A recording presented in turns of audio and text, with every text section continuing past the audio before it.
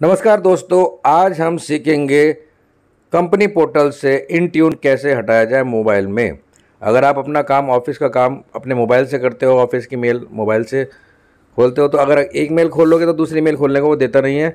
Company in tune delete करने के लिए देता नहीं है। जैसे इस वीडियो में आप देख पा रहे हैं, हम इसको अनस्टॉल करना चाह रहे हैं और अनस्टॉल पर क्लिक किया तो लिखा हुआ है, fail to delete company portal. ये बहुत सारे लोगों के साथ समस्या आ रही होगी।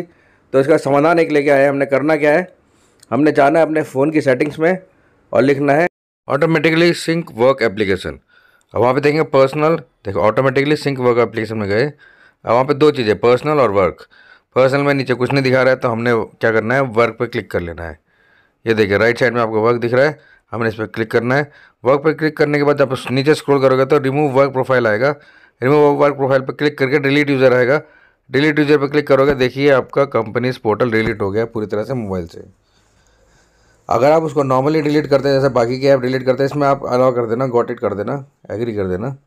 अगर आप पुराने तरीके से अपनी उसको डिलीट करोगे कंपनी पोर्टल को डिलीट नहीं करने देता है, आप दूसरी मेल उस पर एक्सेस नहीं कर सकते हैं, एक ही मेल एक्सेस करने देता है।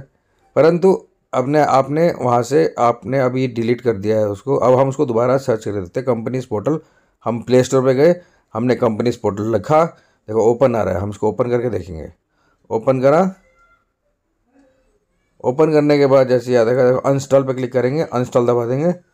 ये पूरी तरह से आपका इंस्टॉल हो गया। देखो इंस्टॉल का बटन आ गया मतलब पूरी तरह से इन ट्यून कंपनी पोर्टल आपका मोबाइल से हट चुका है।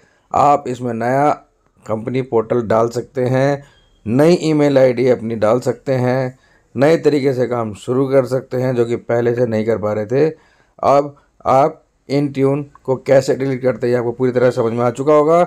वीडियो पसंद आया तो लाइक, सब्सक्राइब एंड कमेंट करना ना भूलें। धन्यवाद, आपका दिन शुभ हो।